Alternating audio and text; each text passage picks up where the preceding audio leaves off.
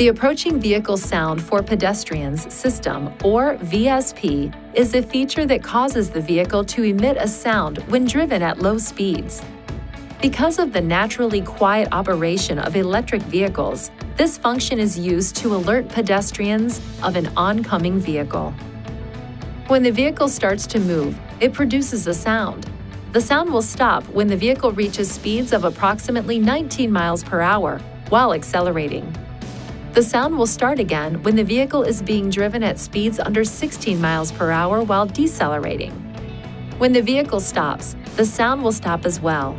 However, if the vehicle is in reverse, the sound will continue even when the vehicle comes to a complete stop.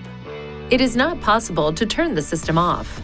The volume of the sound emitted can be increased by visiting a Nissan certified Leaf dealer. Please see your owner's manual for important safety information, system limitations, and additional operating and feature information.